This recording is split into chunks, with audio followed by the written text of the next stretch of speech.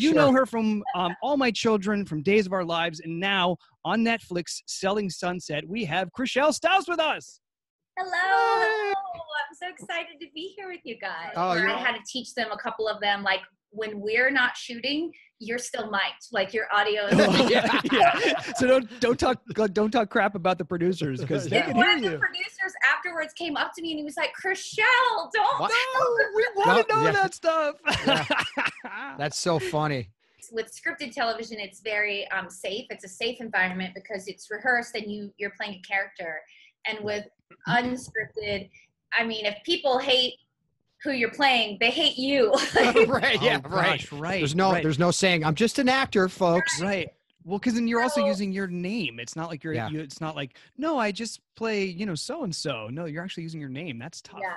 So there's there's always an uncomfortability when when you're putting your ideas and your opinions out there and you're attached to them as opposed to oh my god my character's in the loony bin and she's crazy you know Well, Right. and also like you, if you mess up on a on on a soap, it's like oh they don't want you to mess up. But in unscripted, they probably do want you to mess up. a hundred percent Oh, yeah. right. So like, so you have to be yeah you have to be super cautious, right? Because they'll put your worst up there. You got to be on your Oh, yeah. game for Wait, sure. that's gonna what that's gonna be what's on the trailer to get people yeah, right. we're gonna we're gonna lead with that. You're Yeah, you're, totally. you're yeah your worst moment. We're gonna lead with that. Thanks. Thanks so much for that. I, I just remember it from a very small age watching soap operas and it being the opposite of what I was living in this very poor rural town and looking at these glamorous, you know, women on TV. So So Uh, is so soaps and like soaps specifically were what you set your eyes on in a way.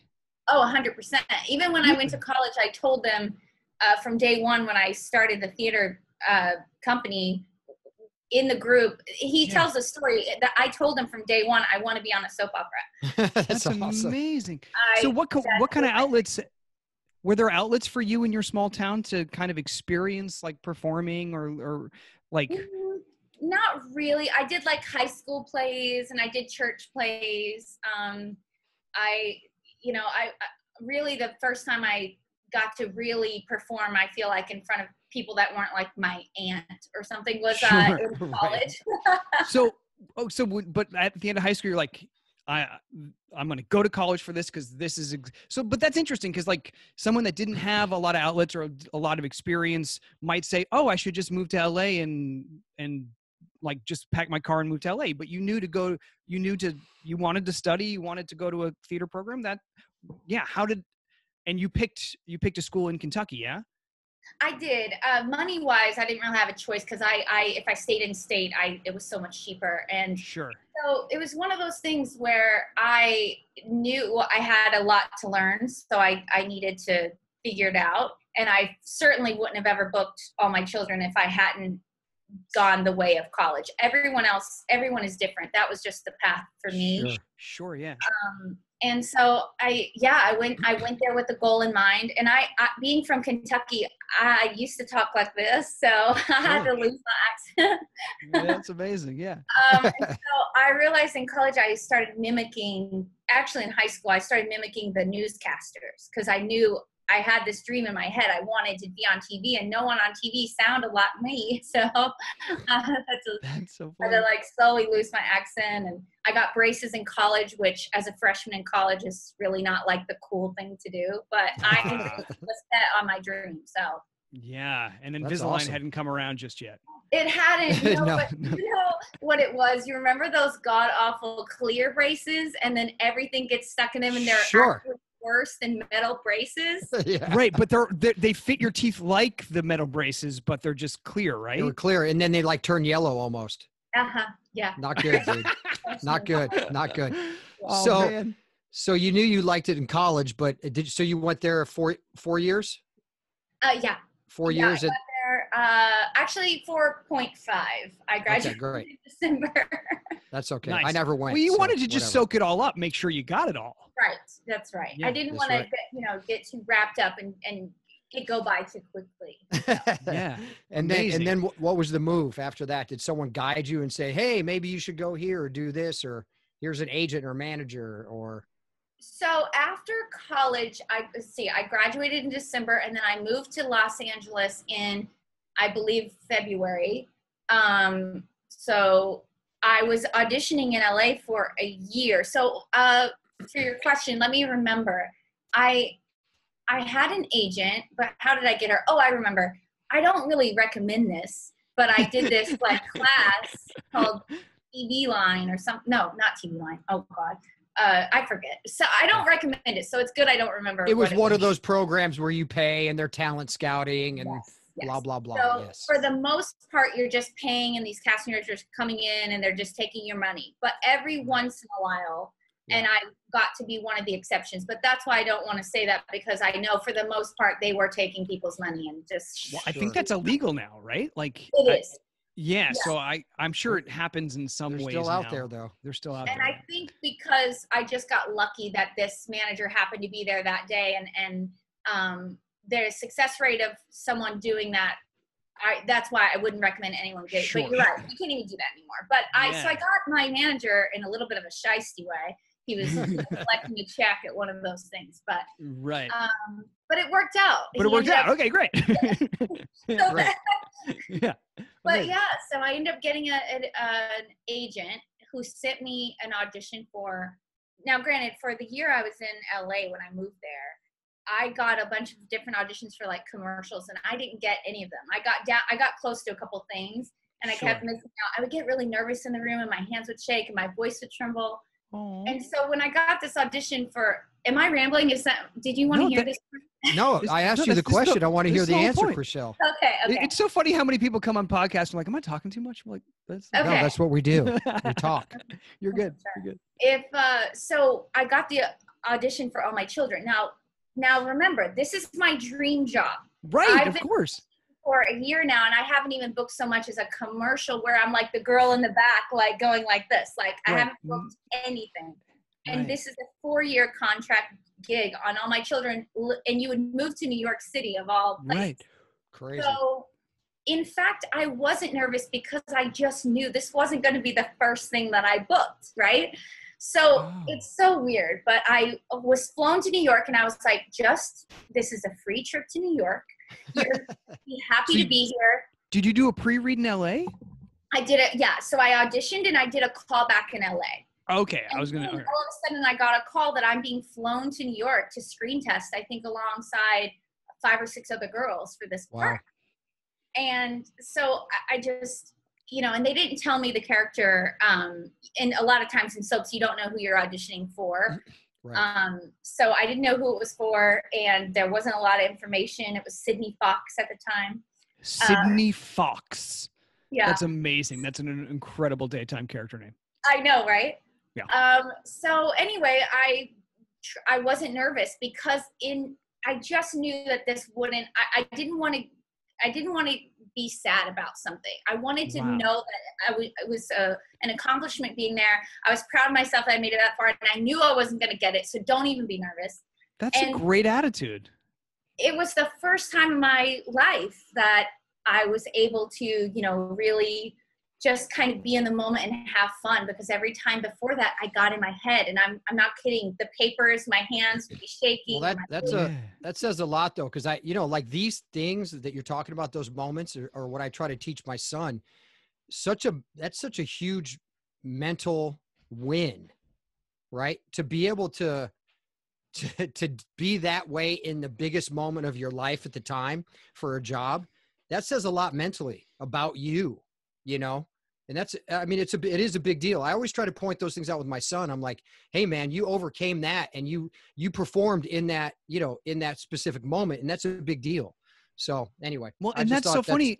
that's huge you know it sounds like you were you were kind of creating that mindset out of like to protect yourself from disappointment but did you know did you know in any way that that would be the best energy to come in with? Do you know what i'm saying? Did you know like it would be so practically useful for you as well? Not not just like self-preservation? I didn't because to think what you're saying I would have had to have given Right. myself that uh thought process that I got the job and I just it would have just been too crushing in that moment to process that. Sure. So i just truly hadn't even thought that far through. I just really wanted to like let myself be proud in that moment that I beat out all those girls because I remember the audition and the callback. I mean, there were so many people there. To make it that far is an accomplishment. Yeah. Yeah, and so I just um I I wouldn't even let my it was a self protection mode, but I wouldn't I wanted it so bad, but I just wouldn't let myself like go there as far as like this is supposed because I did in every other audition. This is your part. This is supposed to be you. You. I, this is made for me. Right. Like, of course I can do this. I was like, Right. nope. wow. So just have fun. and and when you moved from college, you chose LA over New York, or was there ever a, was there ever a thought about going to New York rather than LA? No, because being from Kentucky, I feel like LA is a little more, you know, there's space and you can have a dog and it's a little more relaxed. I see. New okay. York was a little scary to me. Sure. And if I hadn't moved to New York with a job on TV like that, Yeah. I, I wouldn't have ever been brave enough to make that move. Right. Um, but having done it in the way that I did it was the five of my favorite years I've ever had in my life. Yeah. Um, Yeah. But to go there without a job and to go there without financial That's- security, I yeah. would have never been able to do Sure. that. So what was the call like when you got the call? Oh my God. Um, I freaked out. I started jumping up and down on the bed, screaming, um, crying. Um, So did you was- find out? Did you find out when you went back to LA or in New York?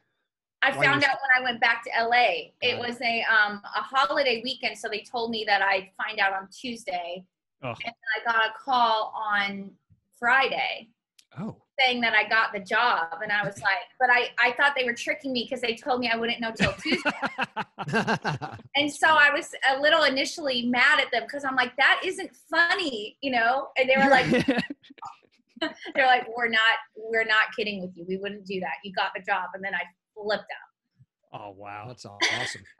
That, that's so fun. And then you had the weekend to really just really enjoy it. Yeah. I Um, did. and so I mean, does did you call everyone in the state of Kentucky? Like Everybody. I, I Everybody in her town, five people. oh yeah, so it God. didn't take the call list wasn't too long, but still. Yeah.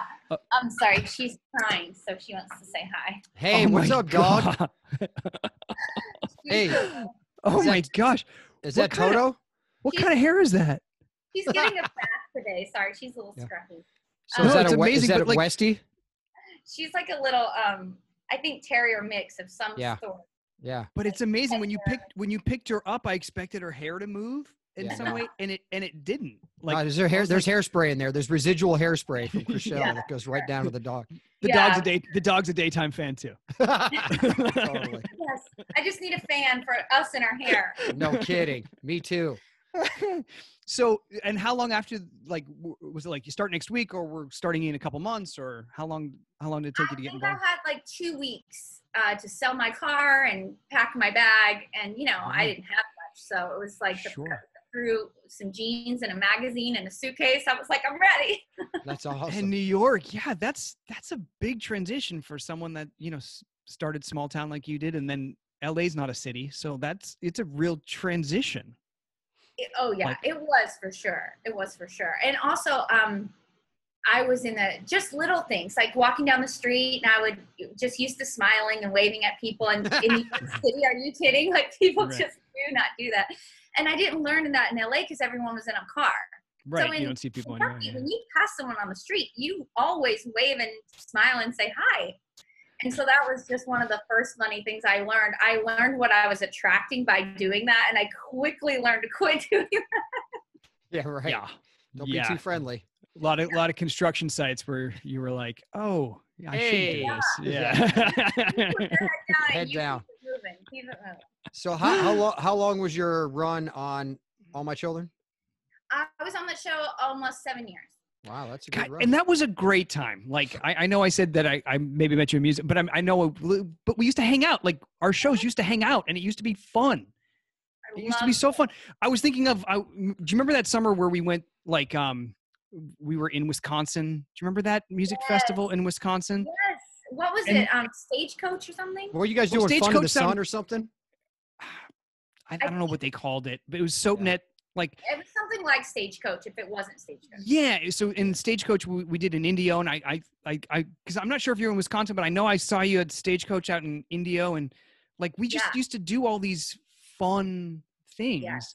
Yeah. and um and you know the broadway cares event that we used to do and then it's funny. I I was looking for your email and i found it in a chain from the uh that show we did uh, that that show the at the the um the gay and lesbian center in la and i feel like you were supposed to be in it and then dropped out Oh my God, you're right. Yes, I forgot about this. I was actually super excited about that, but um, I ended up getting diagnosed with vocal cord nodules. that's right Um, so yeah it was I don't know, 2008, 2009, Wow. or somewhere in there. And we did a production of Kander and Ebbs, The World Goes Round in LA, and ABC Daytime collaborated um, on it. And it was, so it was me and Brandon Barash. And initially it was Chrishell, Natalie Hall, and then Bobby Eakes. hmm And then when you left, they brought in Jamie Luner. Oh, interesting. So, Because she was um, on she was on All My Children, wasn't she? Or Yeah, One Life. Played, uh, not Colby. Um, Yeah. Yes, she was on the show. She was on All My Children. It's Yeah. all getting Yeah, rusty. so I know.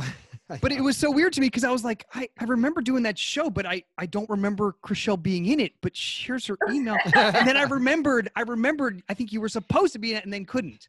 So um, Yeah. anyway, but that was a really just a lovely, you know, uh, obviously you were you were new to all my children, I was new to General Hospital, and but it, you know, it was it was a It's bit like of a like special time, I feel Yeah. like. You know, and there was a bond between like all the ABC daytime Yeah. people. I love that time. Our casino nights, remember they would have yeah, that was fun.